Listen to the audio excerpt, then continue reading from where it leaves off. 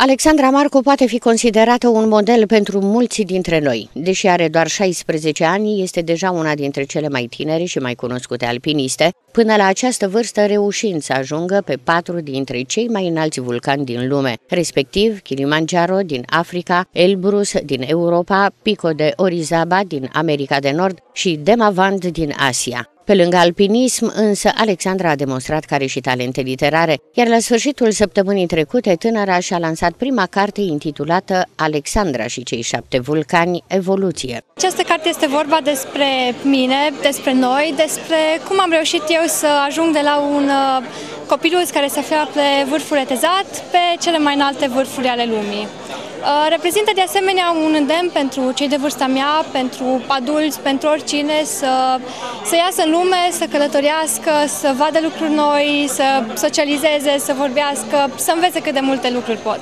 Faptul că Alexandra și-a găsit timp și pentru a scrie a fost o adevărată surpriză atât pentru familie cât și pentru prieteni și colegi, iar talentul literar de care a dat dovadă i-au determinat pe editori să publice cartea imediat. A fost o carte uh, perfect autentică, să spun așa, pentru că încă de la faza de tipar, muncitorii când uh, lucrau la ea și vedeau pozele, chiar unele declarații și Uh, mărturisiri de acolo din timpul expedițiilor au rămas profund, uh, profund uh, mișcați așa, chiar așa de tânără să ajungă acolo. Noi am văzut uh, alpiniști cu experiență. Uite mă, un român, un copil, un tânăr, poate să facă și el. Extraordinar. Trăiesc împlinirea unui vis.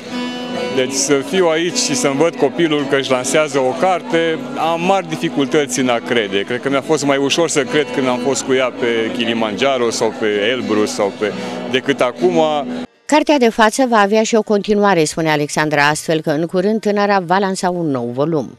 Eu sper să urmeze cel puțin încă o carte va urma, fiindcă această carte se numește Alexandra și cei șapte vulcani evoluție, iar uh, în uh, cartea pe care am scris-o, eu am descris doar trei dintre vulcani, cei urcați până la scrierea cărții. Urmează și restul. Pentru faptul că a dus steagul României și al județului pe cele mai înalte piscuri muntoase din lume, Alexandra a fost răsplătită la sfârșitul săptămânii trecute de societatea civilă cu o diplomă de mulțumire. Mulțumesc mult!